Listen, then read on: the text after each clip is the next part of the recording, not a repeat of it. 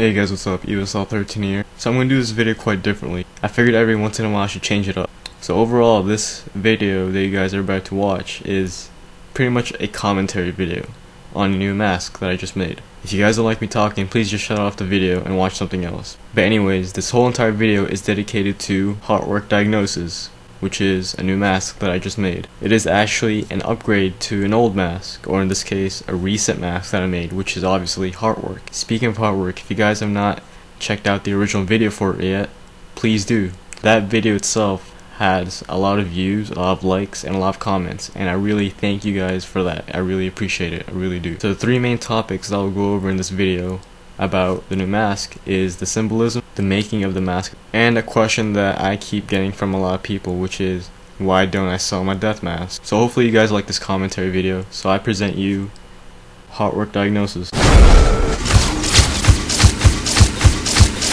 A lot of you are probably wondering how this mask was made. Alright, so let's start with the cast. This mask is casted in Ecoflex uh, Silicone 50. I personally use Ecoflex Silicone 50 because it's mid-range when it comes to the pot life and the drying time. So that's why I chose that material. You can buy it at Smooth-On, so you guys should totally check it out. This cast itself, it's not actually casted. It's pretty much sculpted using popsicle sticks and uh, obviously Ecoflex uh, 50 with thickener in it. And that's pretty much how I got this uh, intricate detail right here all around. So as you can see, this is all sculpted in silicone, which is quite a challenge at the time I made this. The as you all know, this is a death mask. Um, so how did I get a death mask to be a full head mask without making a mold for it? Well, it's quite easy, and I'm going to tell you guys how I made it right now. So as you all see, this particular um, area, which is practically the face, here up to here, and all around, that's pretty much my actual death mask. And uh, I actually have some uh, preliminary preliminary pictures for it in my iPhone, and I'm about to show you guys that right now. And I'm going to show you guys how it looked uh, at the time before all this stuff was put onto it. So as you can see, so as you all see, uh, hopefully you guys can see this. This is on my iPhone 4. Uh, this was the first picture I ever took of Heartwork. As you can see, it is very, very basic at the time. It was a fresh cast. I like how it looked at that time, so I took a picture of it on my uh, on this phone and uploaded it to my Facebook mobiles. I was really proud of it. Uh, I never actually pigmented a death mask that was not grayish or whitish of any color. So I tried to match my skin tone for it, and I was quite successful. So that's what it looks like before. Uh, it's practically, or it is a death mask. So that's what it looked like before. Alright, so the next, alright, so the next photo is where I got a bit detailed. Uh, as you can see, I cut the jaw open and that is basically a part of the detail of Heartwork itself. Uh, and I was thinking of, um, as you can see, I cut off the mouth so that the jaw hangs loose, and the reason for that is so that I can have a good uh, jaw movement. And how do I achieve that? Uh, well, it's quite easy. You take uh, whatever cast material you casted your mask and you put a little bit of uh well this is for silicone. Uh, I put a little bit of thickener.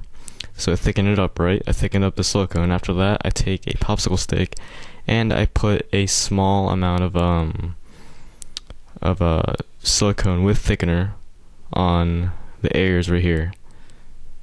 So it's kind of like an elastic uh jaw movement but it's with silicone if that makes sense.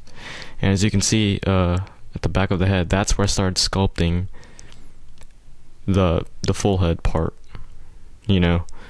So it was a quite it was quite an interesting experience. I've never done it before. So as you guys can tell uh, this is the actual uh, death mask right here. It's not that hard to tell. And at the back as it gets to the head to the um back of the head area that's when everything is all uh, manually sculpted using sil uh, silicone with thickener using a uh, popsicle stick. So that's the cast. Um, Now, if you guys are wondering who that is, that's actually my girlfriend. That's a picture of her. It's, uh, to be exact, it's a thumbnail picture of her. I photocopied uh, a couple of pictures that she gave me so I can put in my wallet. I photocopied those pictures, printed them out, and embedded them within the mask. Now, a lot of you are saying, um, why her? Well, as you all, as if if you guys read the um the symbolism for for the original Heartwork video that I posted up uh in the past, you will you guys will know that this mask was dedicated for her. So that's why her face is in the head of the mask itself. It's embedded in there, uh, symbolically that she will always be in my head and in my soul. And that's how I demonstrated that symbolism right there. Now, if you guys are wondering how I did that, well, as I said, I took I cut out um, little thumbnail pictures of her, and in these areas right here, I don't know what you call this.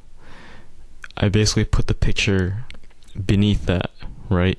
And then you mix another batch of silicone, just a tiny amount, and then and then uh, smear it uh, with using a popsicle pop, using a popsicle stick or a spoon, so that it creates like a thin membrane of silicone, so that it covers the face or the actual photo itself, as you can see. Now, what you do again is you take another dab of a silicone with thickener, and you put it behind it so it's a permanent seal of the picture. Now let's get into the paint job. Now the paint job is quite interesting. Uh, this is the this is the the first mask ever that I have uh, airbrushed using um, toluene. Now, as you all know, toluene is very hard to find. To me personally, it's the chemical that you use to dissolve the uh, paint. And uh, as you all know, paint is the paint base they use to paint silicone masks. So you need uh, a chemical agent called toluene that truly dissolves it so that it's very very liquefied and you can airbrush with it. That's what you need. And I've been searching for I've been searching for it for months now and finally I found it a couple of months ago and as a result this is what I got for my first airbrushed uh, silicone mask. I personally love the paint job even though it's my first. Uh, as you guys see right here, these are hand painted. They're supposed to be veins. I did a terrible job, but it's fine. I like it.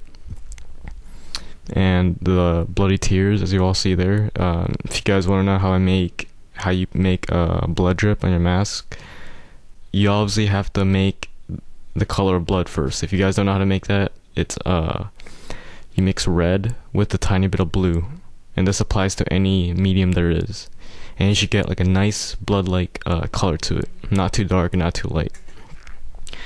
Now, when it comes to uh, masks, if you guys want to make the blood drip, you basically add more thinner to whatever it is you're using. So if you guys are using latex colorants, um, add just a couple drops of ammonia and you guys should liquefy it real really good. But then again since uh, latex colorants are are already um, liquefied there really is no need to add ammonia.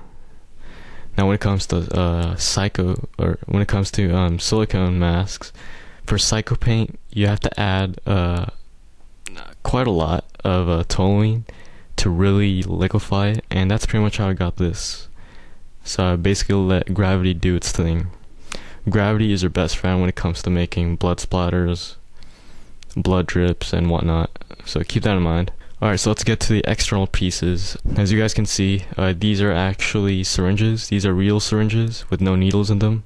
I figured I would not want to put needles in this because when I wear this mask, I don't want the needles to bend and prick me.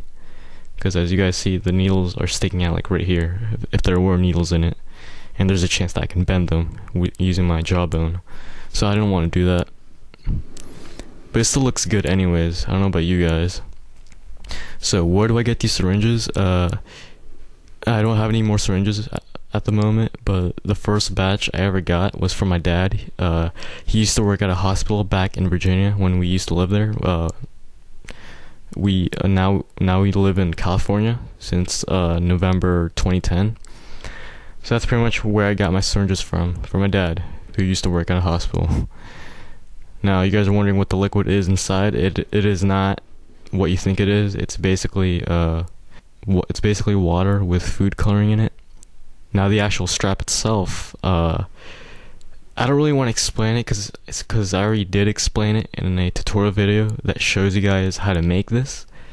So if you guys haven't uh, seen that, please check it out. You guys will love it, hopefully.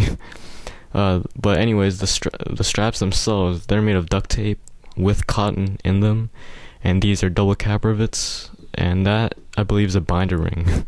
now the blindfolds themselves are actually made of uh, real hospital gauze. I got this at the uh, of my local 99 cent store. As you as you look closely, it's actually not just uh, gauze. I stained it using uh, red food coloring, and I can tell you guys it was a real messy job. So yeah, I stained the gauze and or aka the blindfold to make it look bloodstained. You know. And of course, that safety pin right there is holding it in place. Now those rings that you guys are seeing right there, those are, like I said, those are binder rings, or that one is a binder ring. Uh, I don't know what this one is called. It's like a D ring or something. I got it in the hardware department. Uh, as you all know, uh, Heartwork did not have stitches whatsoever. But then I figured that my jaw movement failed because it wasn't. It did. I mean, it did move my mouth or my jaw, it, it's just that it was too loose around my jaw. So what I did was I completely sliced the mouth, Heath Ledger style, and but uh, and I took some twine and I stitched it so that it's a permanent seal. Not to mention it's a tight fit, and that's and that pretty much solved my loose jaw problem. That little nifty device right there all it is is basically safety pins and uh, cosmetic uh, clippers. I believe that's what they are, and sculpting wire. And that's pretty much what they are. And the reason why it looks cool on this mask is because the way I built it. You know, I got the uh, safety pins aligned up, and they're actually embedded in the mask itself. And on top of that, I interlooped the uh, the hair clip on the safety pins themselves and super glued it. And then I took some sculpting wire, made somewhat of like a brace, like you know, like a braces kind of thing, and I loop and I looped it at the end of the hair clip. I did not super glue it. Now the now the hooks that you guys see there are actually hooks. Uh, they are not fake; they're real. That's why this mask is a bit of a, it has like a safety hazard to it because I've pricked myself several times from those hooks. Uh, those are fishing hooks. I bought them at my Target. Uh, I can't believe I actually found some because they only had one more package left of hooks, and thankfully I found them. And of course, the hooks are uh, they're supported by the same twine that I used for the mouth stitch. And that's pretty much how I made Heartwork Diagnosis and the kind of materials that I used for it.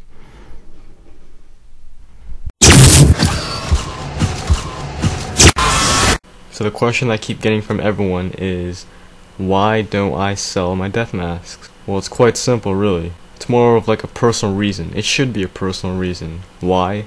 Well, because a death mask especially if it's a cast of your own face. That's something personal, don't you think? Why would you sell your face to some kid or to some adult around somewhere around the world? I don't know about you, but that's a bit creepy, don't you think? I made a death mask tutorial for a reason, so that you guys can learn how to make it yourself and hopefully and hopefully get inspired by my death mask videos so that you can create your own variants for your own death mask. No, seriously though, I like seeing you guys push your creativity to the limit. If you guys have a limit, I want to see what you guys can come up with with your own death mask, with your own face. And that's the beauty of it. My tutorial video serves as the basis. And that's pretty much why I don't sell my death masks to people. Hopefully you guys understand that.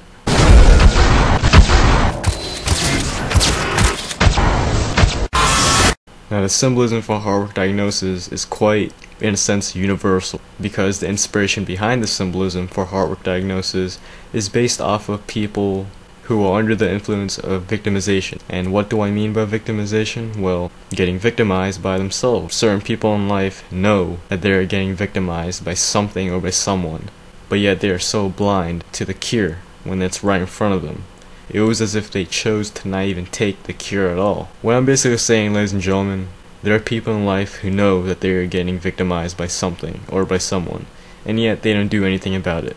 So they get victimized even more which leads to a lot of negativity in their life.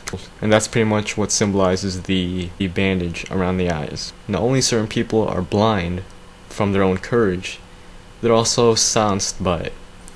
People don't admit that they get victimized in life one thing that interests me in today's society is that kids these days, uh, especially teenagers, no matter what kind of shit life brings them, they still don't speak to it to someone. They don't help themselves get out of the problem. They choose to silence themselves. They choose to blind themselves from this particular problem that's blocking their life. Fear is not something that everyone should have in life. Everyone should have the courage to, to move on from something catastrophic. You No, the mask itself, originally, it still has the burnt, melted like skin to it. Well, that basically basically symbolizes pain. And I know I, I know you guys are probably saying, "Oh, wow, EvilSlaughter 13, another mask about pain." Pain is something that can branch out to many things. That's why I make symbolism for it because I can relate to it. Anyone can relate to pain. They don't have to be blinded by their own problems, but they choose to. They know a cure, but they don't have the courage to take it, which doesn't make sense. Now, the device on the actual mouth itself, that symbolizes the silence that people endure to themselves instead of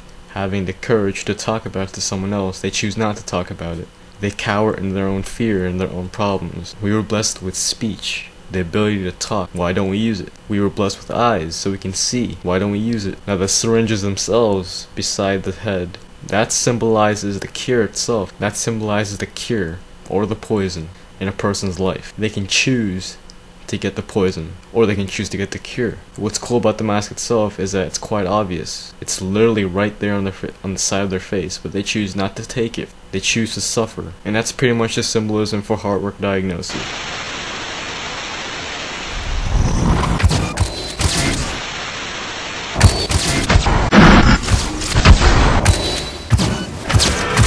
So hopefully you guys liked this commentary video and hopefully the mask itself. But hey, I direct my own videos, right? So why not change things up a bit every now and then? Please like, comment, favorite, and subscribe if you are new to my videos. And I'll see you guys in the next video. See you guys later.